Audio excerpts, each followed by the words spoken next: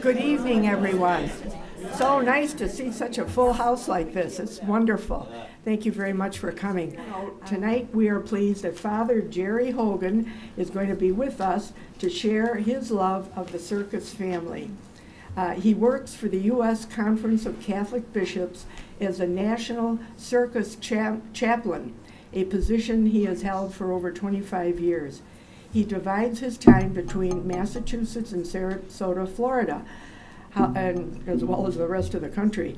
However, as a priest in the Archdiocese of Boston, he has been assigned to a number of other communities as well as here in Foxborough. In fact, just this past weekend, he was assigned a, as a temporary administrator at Our Lady of Fatima Church in Sudbury until uh, June 1st, and then he's going to return to us here in Foxborough. So with the closing of the Ringling Circus, he is also chairman of something that's near and dear to his heart, the, the Circus and Traveling Shows Retirement Project. And this is a retirement uh, public charity commonly, uh, commonly referred to as CATS. It was founded to assist show people with age or health problems in their search for affordable housing. So you can see he wears many hats in his calling. And uh, we in Foxborough always give him a warm welcome. So let the show begin. Thank you, Joe. I look out, it's like the whole parish is here. I know many of you. Uh, thanks for coming. Um, this will be different than the time at, last year I showed a movie called um, After Circus at the parish. This will be a, a lot different. Um, I, well, I'll tell you how. First, the first question I want to ask me is, how did you get involved? And I think I might as well start off with that. Uh, back in 1954, my father took me to the Ringling Brothers Barnum Bailey Circus for the first time. And as many of you probably went to Ringling Brothers, you're just overwhelmed seeing the acts. And uh, it was just uh, very exciting. And when I went home, I had a new neighbor. He just moved in and married a woman, wo uh, woman from my hometown, Woburn, and he had worked with Ringling Brothers Barnum Bailey. He worked in the horses. So I had a neighbor who uh, loved the circus, and he started teaching me the circus, bring me books and uh, stuff. It was like having a professional baseball, football player as your neighbor, you know. You know, I spend more time with Ed Hennessy than my family. It was fascinating. It, you know, I was only, um, I was young at the time. Uh, so, um, and then he introduced me to a priest from uh, Cambridge, Mass, Father Ed Sullivan. you know, everyone hears that and they think of the TV personality. And he um, was the one of the uh, early circus chaplains. And uh, he was a pastor in All Saints in Roxbury and then out in Squantum, Star of the Sea. And uh, I got pictures of myself with him when I was 16 years old on the Hunt Brothers Circus. Uh, little did I know, when I look at those pictures now, that I thought I'd be a priest, let alone fall in Father Ed's footsteps. So you never know what the Lord has in, in mind. So eventually, um, you know, I, I liked the circus. I became a priest, and I'd take the youth groups to circus. I'd go occasionally. Uh, Big Apple started to come into Boston, all these different shows. I always go to Ringling every year. And then in 1990, I joined an organization called Circus Fans of America, and I went to the national convention in Milwaukee. It was held in conjunction with Milwaukee. For many years, they had this parade called the Great Circus Parade, where they bring out uh, from Baraboo, Wisconsin, 75 uh, wagons that they've restored, and it was enormous. You know, we think we have parades here in New England. We don't have parades. yeah. It became the third largest in the country. You had Rose Parade, you had Macy's, and then you had this. This was in the second week in July on a Sunday. Parade was three and a half hours. And they brought every band from every, all over New England. You'd have University of Michigan, University of Wisconsin, and they have all these wagons, and oh, it was, it was fabulous. And they had people that started uh, camping out on Thursday Three million people watched it. And it was always on PBS. And uh, it, it was fabulous. So anyway, that parade, and I got to know all these other crazy people like the circus. it was kind of funny because you never knew what they were, except you got to know their names and where they were from, you know, but that's all you knew about them. And what happened was um, I was watching 20, 20 years later, was a friend of mine, Dale Riker. He was originally from uh, Michigan. He moved to Sarasota. And he's on 2020. He's a circuit court judge. I didn't know you were a circuit court. Yeah, it's not important, you know. And uh, so they all kept on saying, do you know Father Jack Tony? He's a uh, priest with the Ringling Brothers. I said, no. So you got to meet him. So I, He was a La Salette priest, so he spent a lot of time down in La Salette, uh, in Attleboro. So I went down to Providence that year and met him, and he was in his late 70s at that time, getting older. He said, you ever think of doing this work? I said, well, what do you do? Because I was a college chaplain at the time, and you do a lot of ministry of presence hanging around. I said, I can do that. But what happened was Jack got sick, and he gave my name to the bishops.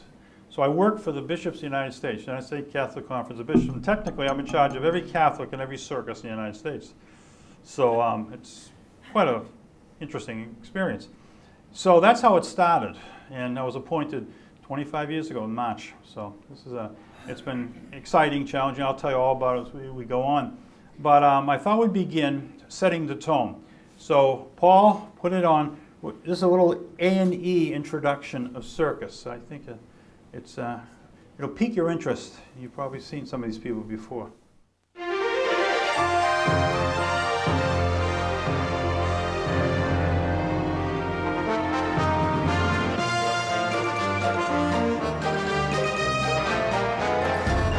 Ladies and gentlemen, children of all ages, welcome to the circus and enter an ever changing yet familiar world of clowns, animals, and acrobats, where joy, laughter, and daring do can be seen with childlike wonder.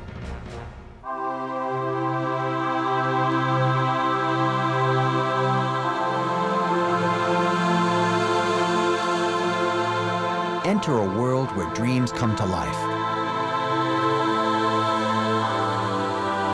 where the fantastic is within reach.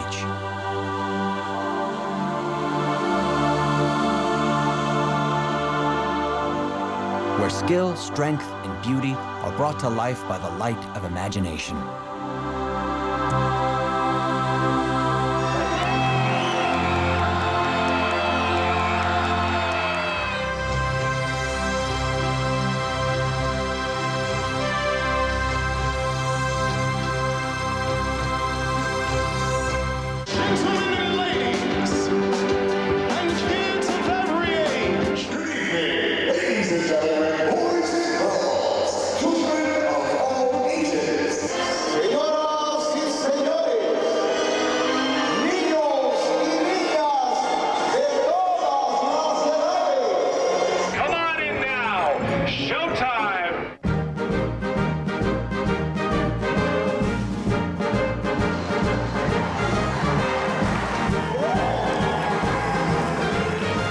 May only come to town once a year, but it lives in everyone's imagination as a dazzling, daring,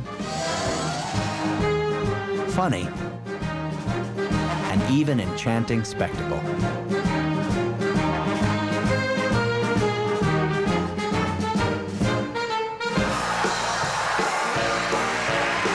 Everybody loves the circus, even those who've never seen one. It opens up the door to a place of fantasy where anything is possible, even flying.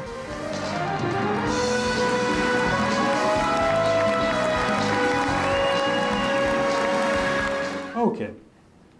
Um, that gives you a, a taste and a flavor for circus. When I look at that, that's my parish. Many of those people I married, baptized their children. And uh, when I looked at it now, I said, oh my God. So it's been a few years uh, so it, it, it, was Ringling Brothers, it was Big Apple Circus, it was the Mexican Circus, a lot of different shows, because there are many different shows. Of course, we have to talk about the closing Ringling Brothers Barnum Bailey. We'll talk about that a little later, but um, that was uh, last year it closed after 144 years, older than Coca-Cola in American baseball. Um, and that was a tradition. We never thought that would, would close, but um, that was the big one, the big show. And uh, we used to call it, in, in circus terms, we call it Big Bertha. And uh, it was it was around for an awful long time. But my ministry is was a lot with them because they had two units, 350 in each unit, travel by train, 57 cars in each train over a mile long. So, um, you know, that was a lot of, they announced January 14th last year, 2017, until closing, and we closed uh, the Red Show in Providence, um, first week in uh, May, and two weeks later we closed the other show in uh, Uniondale, New York. Um, but it, it's, you know, that was the biggie. But there are still 41 circuses out there. So they're all, a lot of them are small. Big Apple has just come back. And it's in Boston now. I've been visiting them. So anyway, um, they're all interesting people. I get a lot of, what are they like? Well, they're like you and I, except they travel an awful lot. And some of them have been handed down generation after generation. I think the most I know is eight generations. So, but there's other people who, like, kids used to go to clown college and become clowns and then take, do on other acts. Girls from dancing schools who become dancers and then they might fall in love too. So it, it, people enter it from different areas. And also, people, the idea of running away and joining the circus, that's absolutely true. Uh, people become working men, or we call them, you, you old days, call them roustabouts. Uh, people would, you know, drop in and just join the circus. There's an interesting story. One time I was in Asheville, North Carolina, visiting a show. Um, it was a ringling show, and I was talking to this guy at the ring curb. He, he was a worker on the ring curb, and he says, "Oh, Father, I'm leaving the show." I said, "What are you going to do?" Well, he says, "I got two master's degrees." I says, and he's working like a working man. I said, "You do?" He says, "Yeah." Someone in the, in the office has helped me with my resume. I said, "How'd you get it?" Well, I was biking through s- such and such a state, and I thought I joined the circus two years ago. oh, really? You know? Yeah, yeah. There was another guy who used to take care of the elephants. We have to have a 24-hour man who was on the elephants. He had a PhD in mathematics. So you never know what these people, where they come from, why they want, but people do drop and join the circus. Um, it's interesting because as I got involved in it and got to know these people, my most important role is, um, I take care of everyone, not just the Catholics, is confidentiality. Um, when you live in a close quarters, whether you're on a circus train or you got your trailer and you're moving, some shows move every day. We call those the mud shows. If you're ever on one of those, you'll know why, because when it rains, boy, it's tough to get those car, trucks and trailers off the, the lot. Um, but so they live in such a close area that you become their confidant.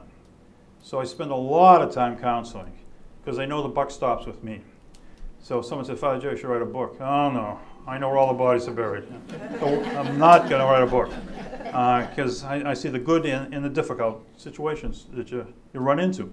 But it's, um, it's fascinating because um, in the Catholic Church, in our faith tradition, they want to go to church, and they can't. They work Saturday and Sundays. They usually move, uh, the big shows usually move on Monday or Tuesday. So we do, I do a lot of weddings in the circus on Monday or Tuesday because um, that's when they're home. One of my friends, uh, two clowns, when I first got the gig, oh, they've been married 21 years now. So we're going to do it in Boston. In the old days, they were in Boston for two weeks, so the Monday. So we got All Saints Church in the North End. And I helped them set it up. We got the caterer for half price. We got the flowers for half price. We got the, you know, who gets married on a Monday, right? You know? So they, all the all the shop people around Boston were well, great. They could, they could get some more money. You know, it was fabulous. And the whole show came. So we all went over from the garden to All Saints right there in the North End, you know. And we had, the, and the church gave us a reception downstairs, you know. So so that was a lot of fun. I've uh, I've done a lot of baptisms in a lot of very interesting places. Uh, uh, up in Montana, uh, with Carson and Barnes Circus, they all over the place. And uh, once you're there, once they trust you, you see, that is one of the big things. Is um, they move so much, and in the course of the history, um, people that aren't in the circus we call townies, you know. But if you became a circus fan, or you did a favor for a circus person, they, they would appreciate that. and You'd be friends for life.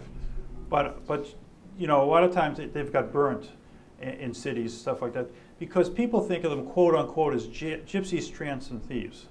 Who are these people? You know, you know, they're they're unbelievably fabulous, but you don't see what they go through and understanding. I've had them, you know, the Ringling show was in time. I used to bring them to the dentist. My dentist in uh, North Andover used used to give us breaks. Oh, it was unbelievable, you know.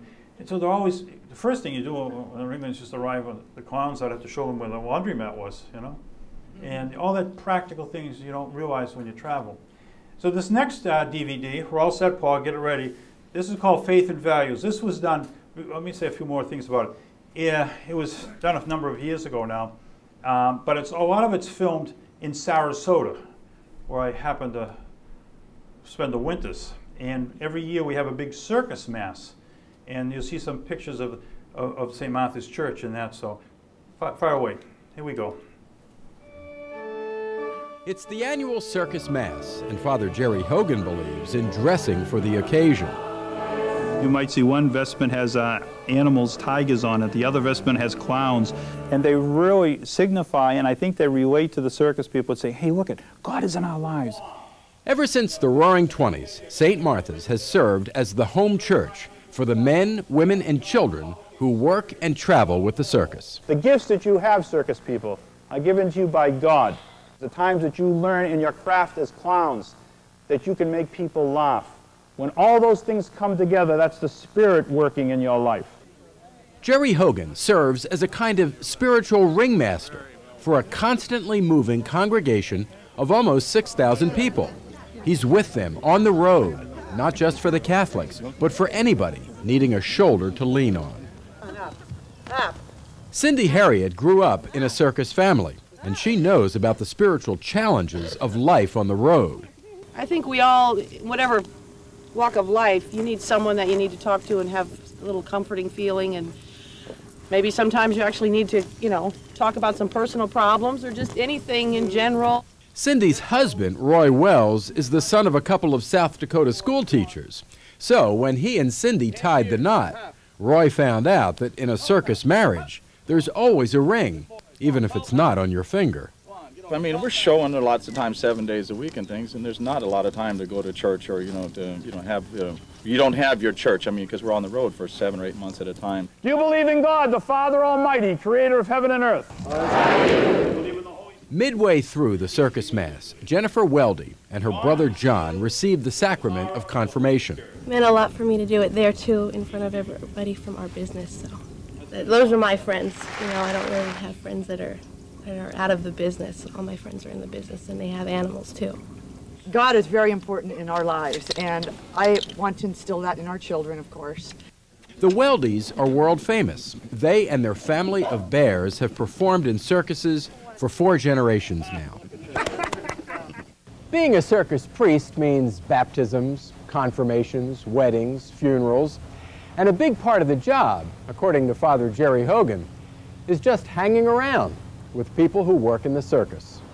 And if it's early on a Sarasota morning, then Jerry is hanging out at Bob's place, where everywhere you look, you see the circus. You don't know where you're going to be. So you can be counseling someone on an elephant tub in the middle of a Madison Square Garden, or you could be down here in Sarasota, Florida, uh, watching them train their animals and uh, in, in the same time listening to their marriage problems. Those jobs are tame compared with the annual custom of blessing Kay Rosaire's really large cats.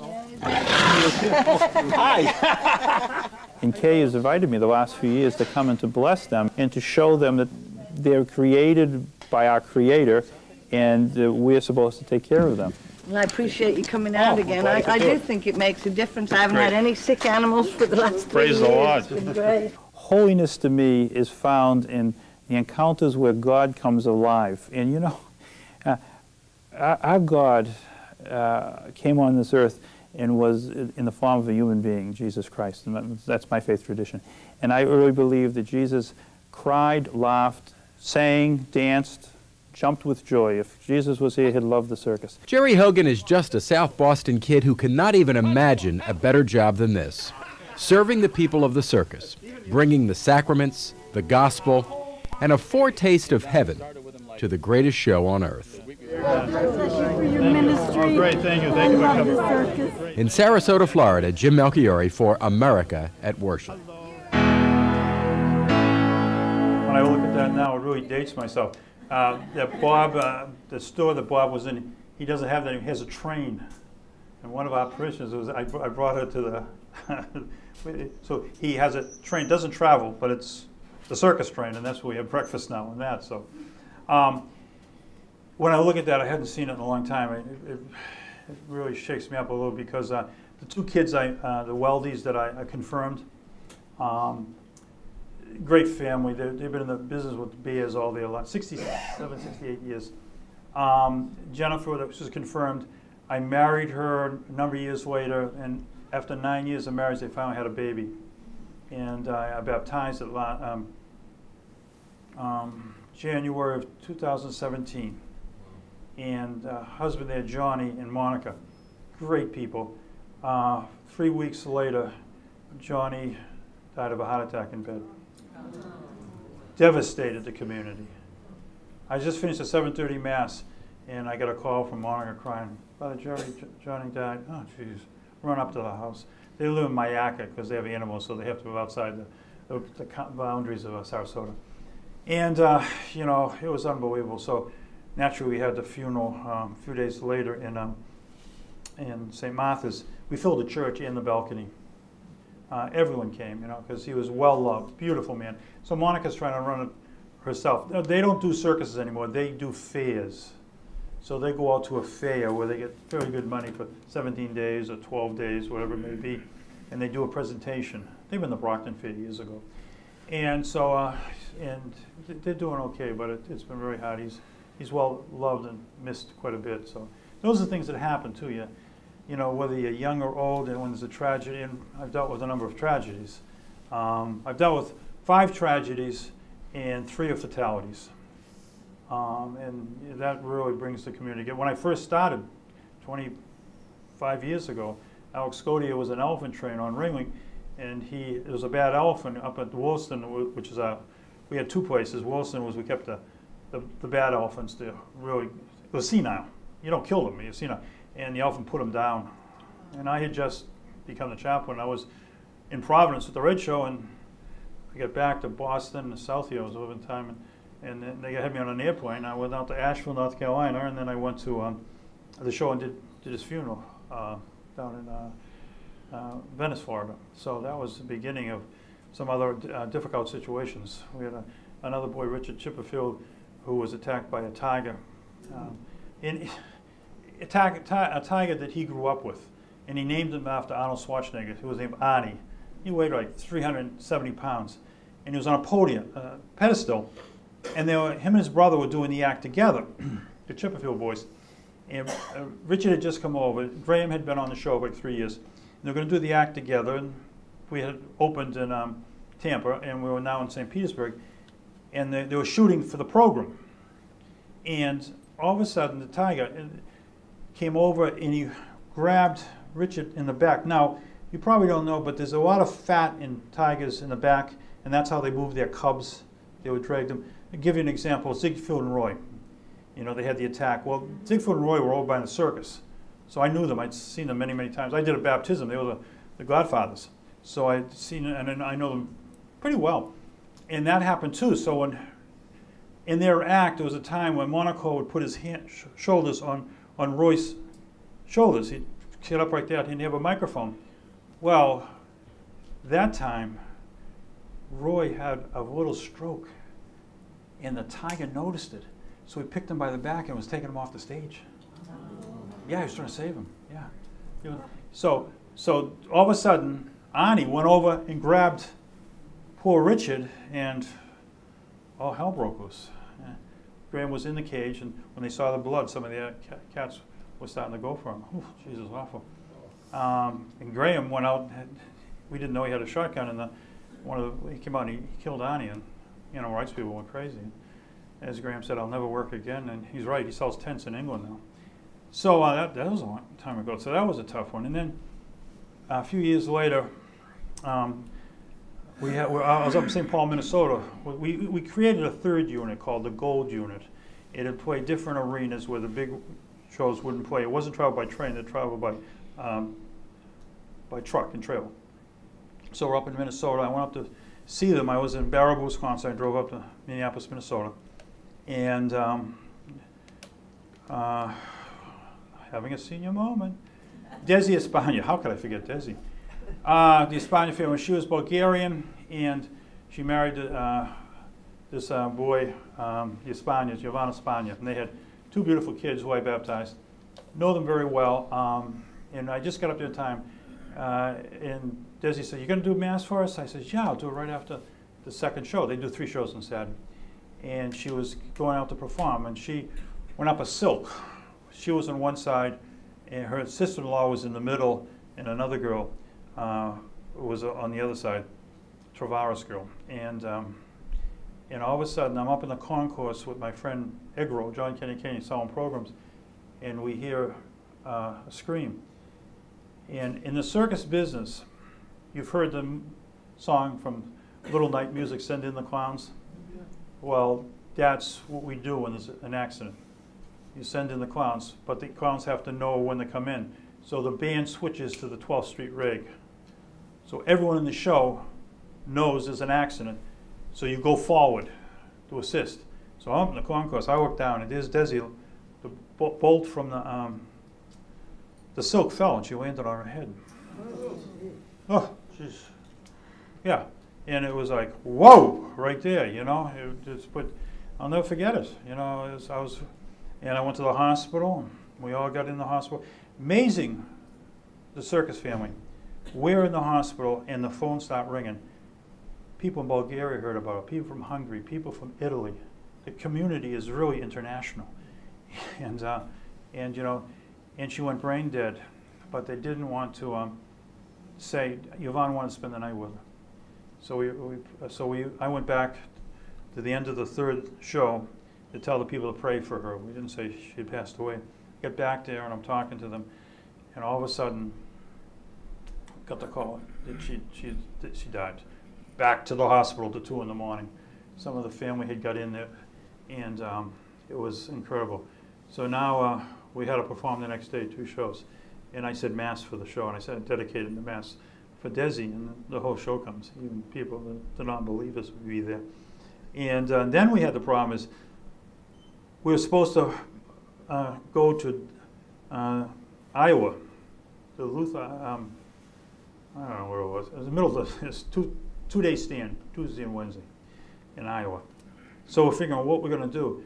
Well, they want to take the body down to. They lived in Englewood, outside of Venice, but uh, uh, we also wanted to um, do something for the show.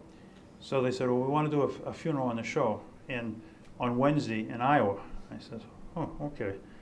How am I going to find a Catholic church in, in Iowa on a Saturday, Sunday afternoon at 4:30? So I start calling. I got this priest answers, not an answering machine, a priest. He actually answered the phone, and I said, told him the circumstances. Oh, I got three churches. You do, Father? Yeah. You want St. Wenceslaus? Yeah. There's nothing going on at noon. That sounds great, Father. So I flew back on Monday, changed my underwear, and then flew back Tuesday. and we cremated the body, and we had a wake right there in the ring after the show, and we all gathered at St. Wenceslaus's. People came in to work, working from all over the country for that one, and it, was amazing and beautiful, rose-colored stained glass windows. I mean, this church was unbelievable. Well, during World War II, these people were all from Czechoslovakia. They stored all the stained glass windows in a warehouse. And when they all moved to Iowa to work in the farms, they brought all the stained glass windows with them. It was magnificent. And then the following week was Memorial Day weekend. On Monday, I had a big funeral at the cathedral in Venice. And we, we almost filled, it was, three quarters filled with circus people. You know. I mean, she's a beautiful woman, 34 years old. Drop dead gorgeous, inside and out. You know, well missed. Boy, it was, it was really difficult. Well, that's enough. Uh, there's a few other stories we'll talk about later. The hair hangers, you're familiar with that. So let's do another DVD, Paul. This is Good Morning America. Dun, Well, we like this religion story a lot because it's also about the circus, hence the music, and who doesn't like the circus? Father Jerry Hogan has always liked the circus ever since he was a kid, but he never would have predicted that his religious calling would have led him to join the circus. Here's ABC's Steve Avison.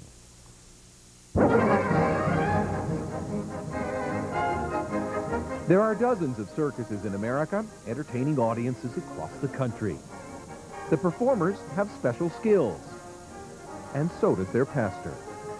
These people cannot go to a church weekly because they're always on the road. This tent here is their sacred place. This is their temple, and we have to bring the Lord to them. For Father Jerry Hogan, that means going on the road 150 days a year. Since 1993, he's continued a 70-year tradition in the Catholic Church, crisscrossing the country, blessing tents and tigers performing communions and baptisms, and offering counsel and friendship to members of the circus who consider him family. Every time I see you, you know, it's like every maybe two or three months as she gets tall and tall and taller.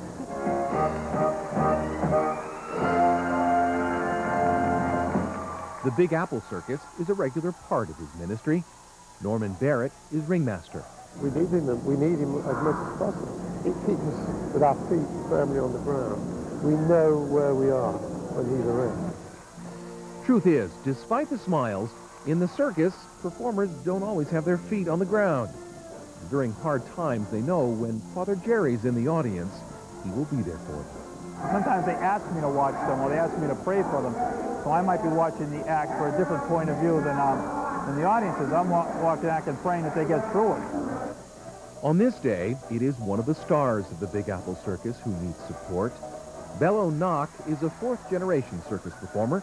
Father Jerry knows his family well. He was on Ringling for like five years, Yes, I know. and he did uh, a high wire over a cage of lions. Cage of Lions, yeah. I know. That was incredible. So, I, yeah. When Bello's legendary Uncle Pio died after final bows at a show in mid-December, it was a painful loss. Father Jerry went to New York to be with his friend. There's 2,000 people out there, and you still have to work. That gives you that little bit of energy that it's not about you anymore. It's about them. They, you, Yeah. they came. You came. They came so you can make them happy. Absolutely. Forget about their. Helping the show go on for one gypsy performer is hard enough for this traveling minister, but when tragedy strikes the entire circus, it can be overwhelming. Take care, bud. In 1994, that meant a painful seven days with the Ringling Brothers Circus after a deadly train wreck. and it was a very trying time for the entire cast. And uh, Father Jerry and uh, one of his associates, Father David, came and spent about two weeks with us. Um, just as comfort uh, to be there for us. That was very painful. I had, you know, 15 clowns in the room holding on to each other to cry. Um, that was a, uh, seven difficult days. Do you think that there's something spiritual about what your congregation does for a living? To me, circus is like the divine liturgy. It has all the aspects of uh, taking uh, gifts that God has given you and expressing them to these people who come to their, their, their sacred place to watch them work. It's a great time when we can gather together. And that spirit takes on a special meaning when Father Jerry takes center ring at his ecumenical prayer service. What does Father Jerry do for you and, and, and for the circus? We almost have the same job. It's to try to help people forget about the the down points in life and try and bring them up. I love the circus, and uh, and I love my priesthood, and to combine the both, to be able to sit there and watch uh, these people do these great skills, and to be able to uh, know them as friends and family, I love it. This is Steve Avison for Good Morning America Sunday.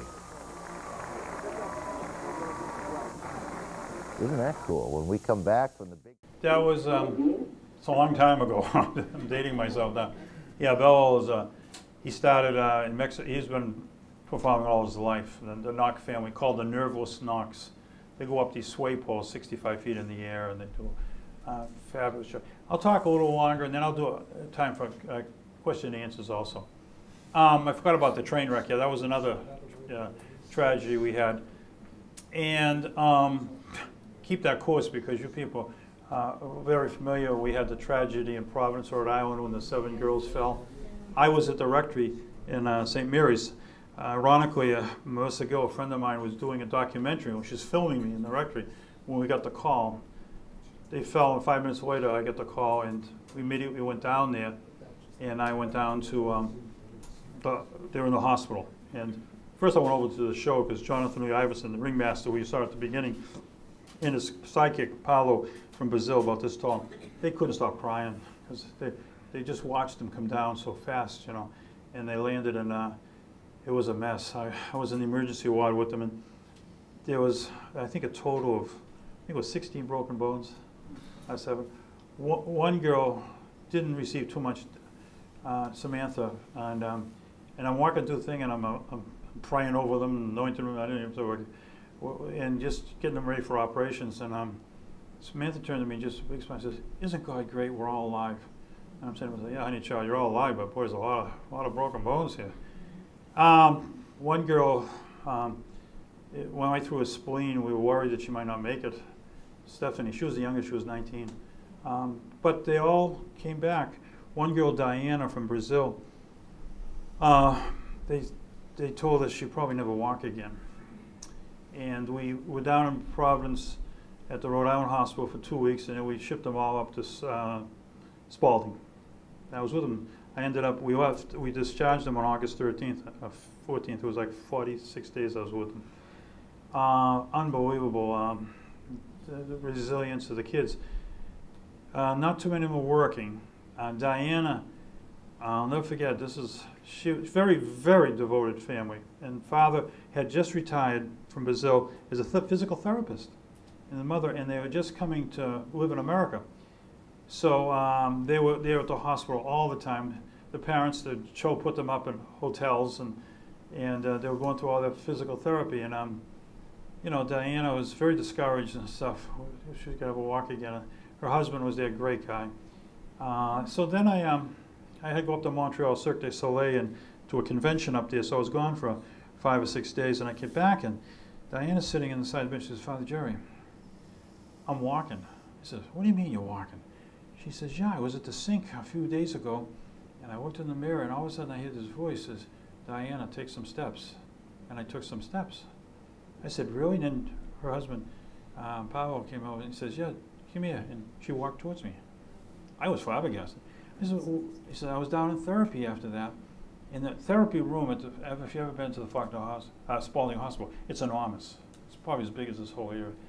And she's out there, and she started walking with the therapist. And everyone stopped and started applauding. They had never seen it. It was truly a miracle. And then she started practicing, and she, she was a former dancer, so she, they put a videotape on and she started dancing the whole thing. So she came through it, and she just had a baby last July. They live in Fort Worth, Texas. Uh, and the father helps her a lot because he's a former physical therapist. Uh, so, so in, continuing that story, there was a girl that the girl, the one that said to me, "Father, isn't God great? We're, we're all alive." Samantha. Um, she went back to Ringling for a while, felt very discouraged. She doesn't why God spared her and not the other kids, and oh, we had to go through all that. So eventually, um, I'm down in Circus, so, uh, Circus Sarasota.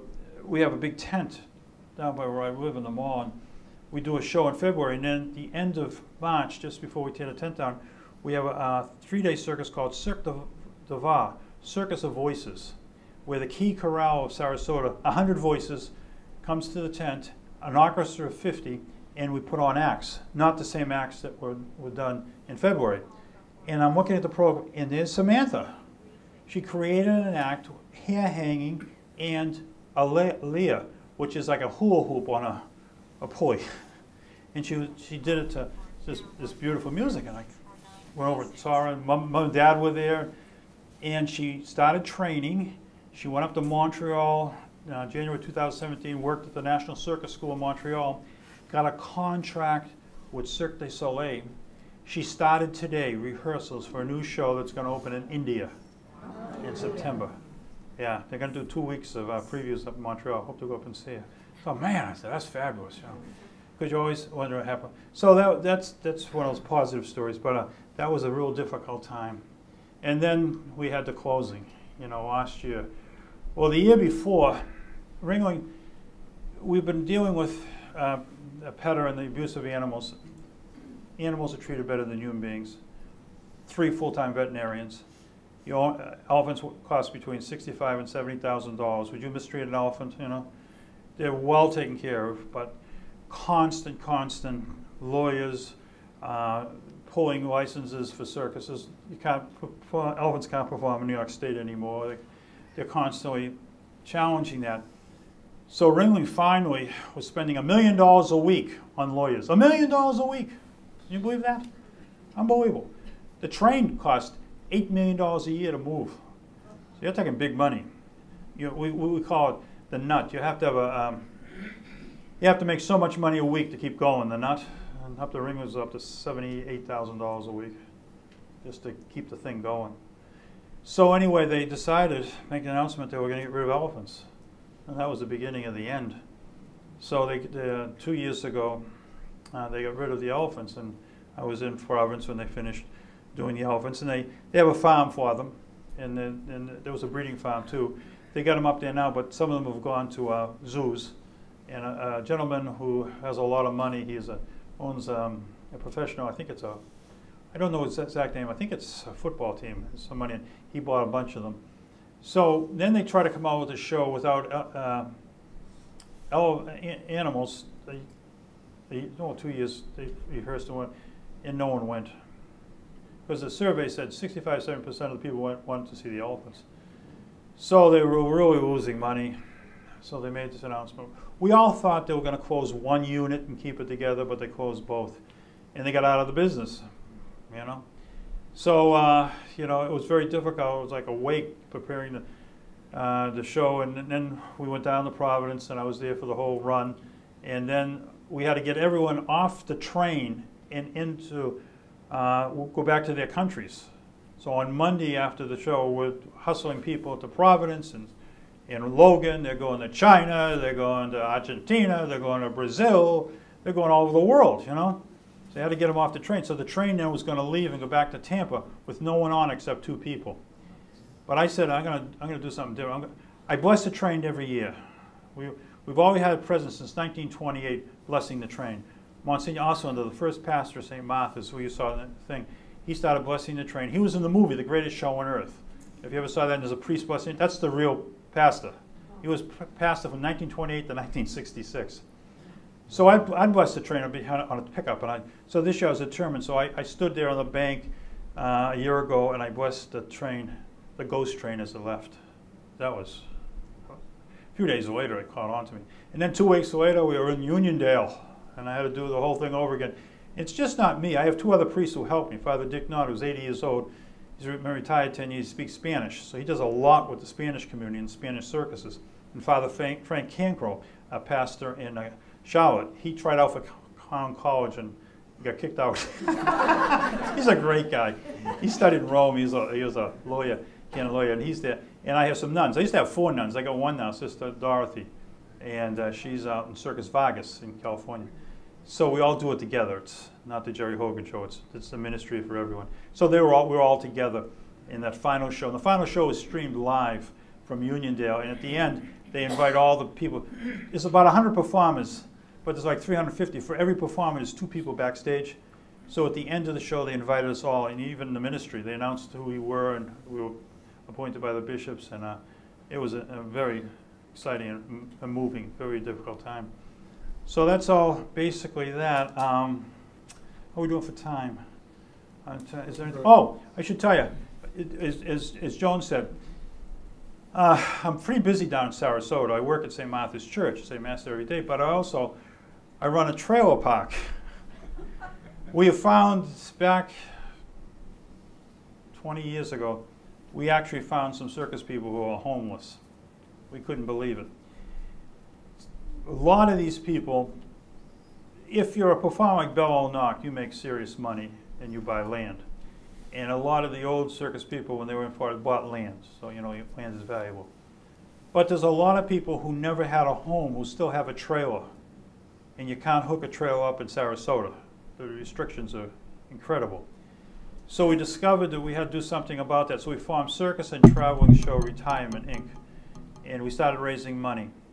So we bought a trailer park in Seffner, Florida, which is outside of Tampa, and it holds uh, 10 trailers with hookups for uh, water and electricity. And there's a building on there. We have a, a woman and her husband who are property managers run that, and we have an executive director who helps us raise money. So then when Ringling closed, they gave me a, a train car for free. 90 feet long train car. Yeah, what do you do with a train car, right? Well, you try to get it on the, Seffner property. It cost us fifty thousand dollars. Uh, no, ten thousand. What was that? Ten thousand dollars to get it. So I hustled, got the ten thousand, and uh, and they gave me four uh, box uh, wagons, which which is store. So if you go by, all of a sudden it looks like a mini winter quarters. So we're gutting it out, and we're using it as a common room. So all the people live there. We have uh, five people living there now. We can take ten. We had six. A person passed away recently, and uh, and they, they, live on their trailers. We don't buy them in trailers; they have their own trailers, and we only charge them one third of their Social Security. Some of these people are only making six to eight hundred, yeah, six hundred to eight hundred dollars a month for Social Security. Some of them are on food stamps. I mean, yeah, and they were concession people, working people who, you know, never thought they'd always be traveling with the circus, you know. And they get some of them getting up there in age. So I, I hustled, uh, and then this year I'm down there, and uh, the water went, got became dirty. Oh, jeez. I had to raise twenty-two thousand dollars, and we put in new pipes so the water is clean, so they could take a shower and everything, you know. So you're always dealing with stuff like that, but um, um, it's part of the ministry, and we've also got people who are going to give us their land when they pass away in Sarasota, and they're grandfathered in for horses and stuff like that. So it's very good. I go out to dinner every year with some of these people, and I say, "How you feeling?" yeah. They write us up in there. How you feel? Ah, I know, but uh, it's great. I, I love these people. It's so much fun, and I, I, I have a lot of fun down there, and uh, it's of course it's nice to be down there in the winter too. Um, but um, it's cha- it's it's challenging. Um, why don't we open for question and answers? Okay. Q and A.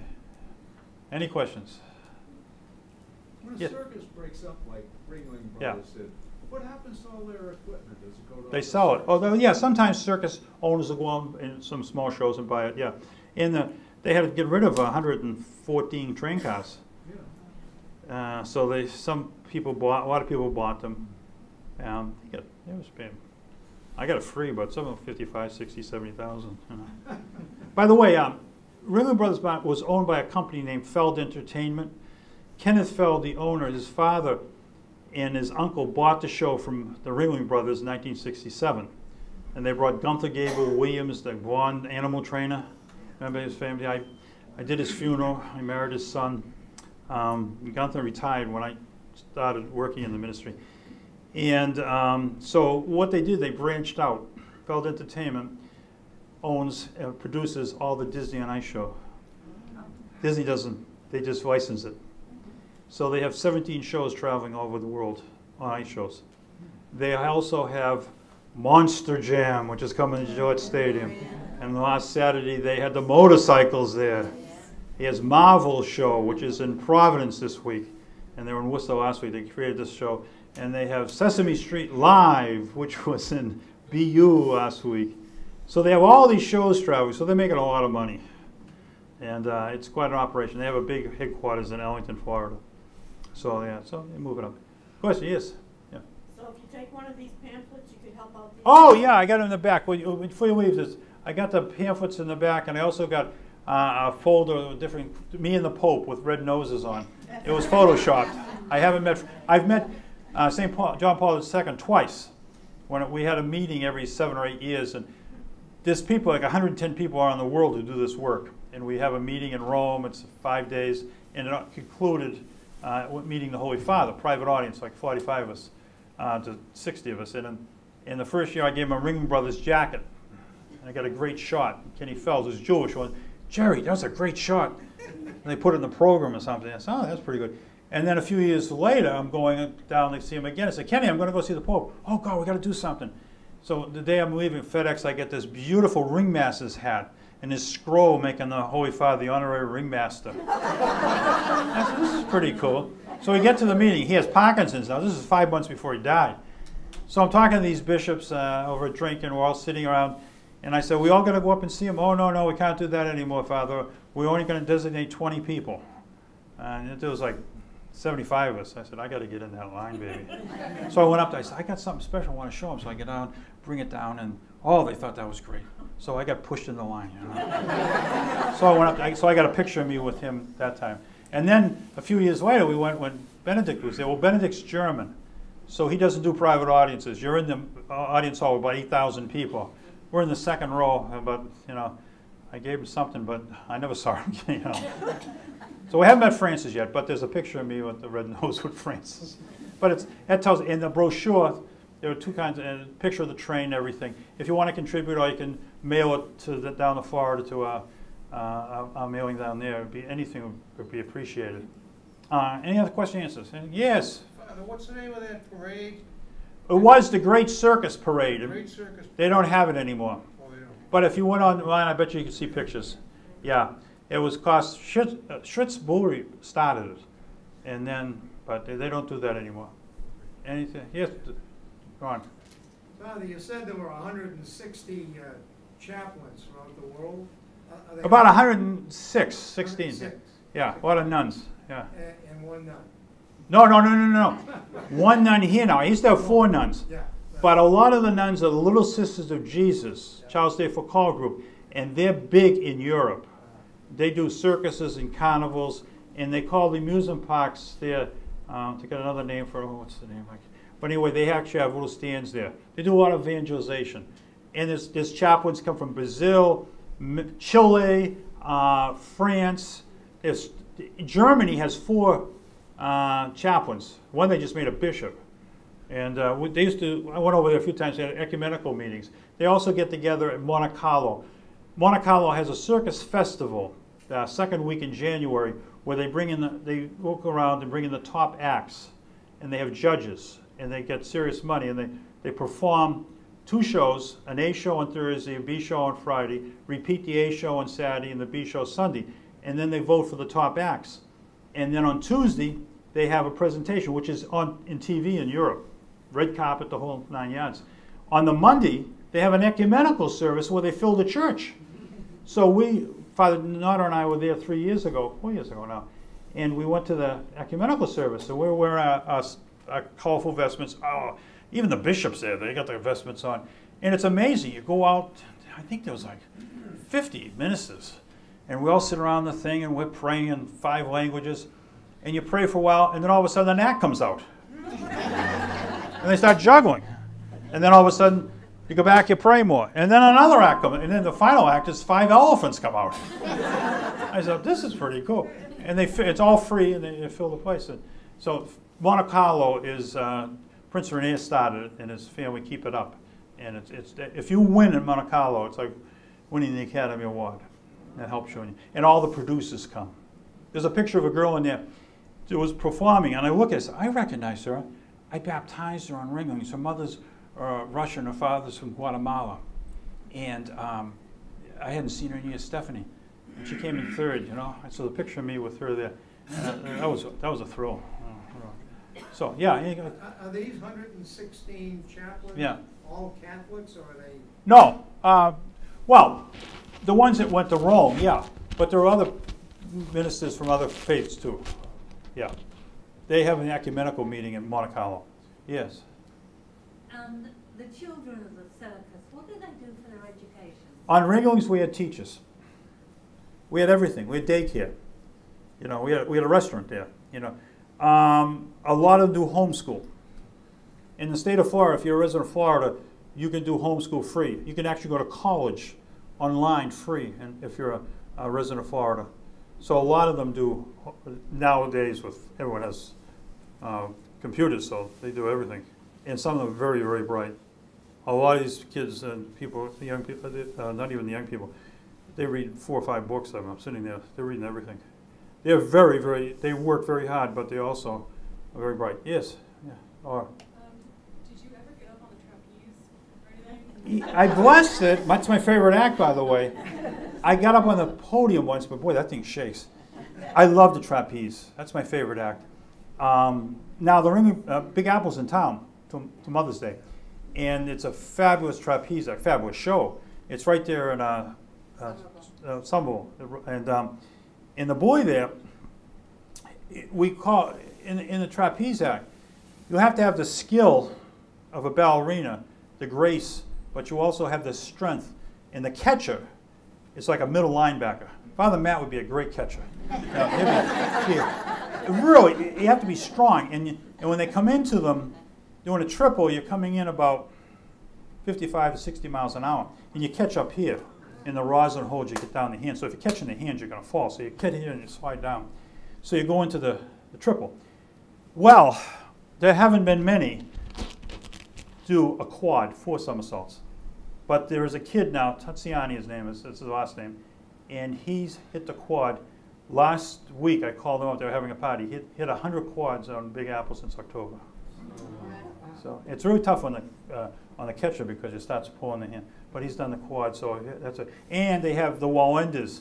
Nicky, Wa- uh, Ricky Wallenda, the guy who walked across Niagara Falls, he's doing the seven-man pyramid his family did for years. So it's, uh, it's kind of an exciting show. It's a real good show if you get you uh, to see it. Is Yes. there just one Wallenda left?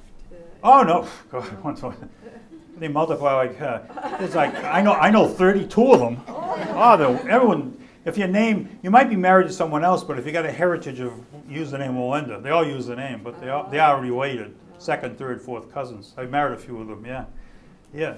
Um, a few of us went to the show in Boston. That's right. A few years ago, and we met the master of ceremonies, Egro. Yeah. I think that was his name. John Kennedy Kane. How's he doing? He's looking for work. I talked to him today. He, he's not on the Big Apple. He's doing um, some fair. He did the Big E last two years, and he's doing the Big E this year. That's a 17-day fair, you know, in Springfield, and they have a free circus. And he's going to be up in. Uh, he's from Buffalo. He lives in Buffalo, and he's, there's going to be a circus up there. He's working. Uh, Rudolph Tarzan Zerbini last year was in Canada, so I talked to him like three or four times a, a week. He's the funniest guy I know. Father Matt can tell you because I'm always laughing in my room. Egg roll. Oh, if egg roll would keep you going. He has he has a one man show he does. My life in the basement. yeah, he's doing good. He's doing. Anything else? Well, great. It's been great. Uh, thank you very much. Yeah. See you down the road.